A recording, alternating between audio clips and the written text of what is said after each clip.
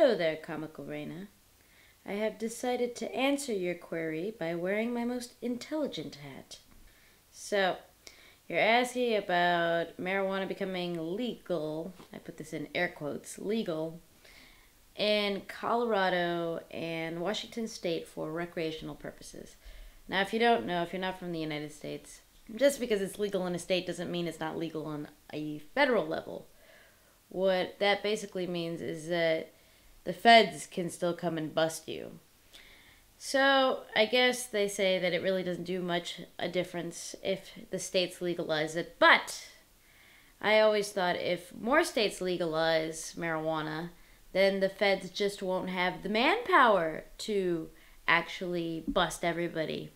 And thus, you know, the law is a moot point. It is then unenforceable.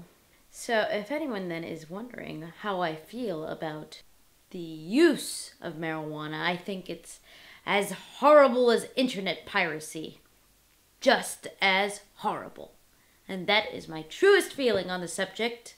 I should not really get into what it is that I do or don't do on my free time. Let's just say I amuse myself with various activities throughout the day. Except recently, since I've been studying all the time, and that's not fun.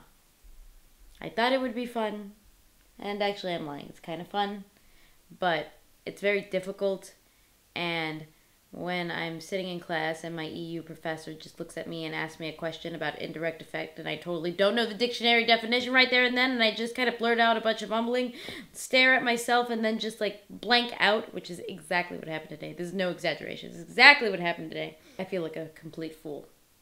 I also feel like every time I'm in class, I'm just like the dumbest, dumbest person in the class. I always get that feeling. I don't know why. No, I do know why. It's because I feel like I've just lost sometimes. I'm like, what the hell is going on? I do the readings though, and I don't know. I find EU law very complicated. I think I get something and then I'm like, oh wait, I had it totally fucking wrong. But I'm not failing anything yet. I took my first exam and I actually passed. I have no idea what my score is, but the point is, I passed. On top of that, I am finally fully registered with my university and I have become a resident of the United Kingdom. Huzzah! Huzzah! Yeah. Sorry, I, am addressing this to Reina, but just in case anyone else is wondering. So, uh, Comical Reina. For people who don't know her, I will leave a link to her channel below. She is quite interesting.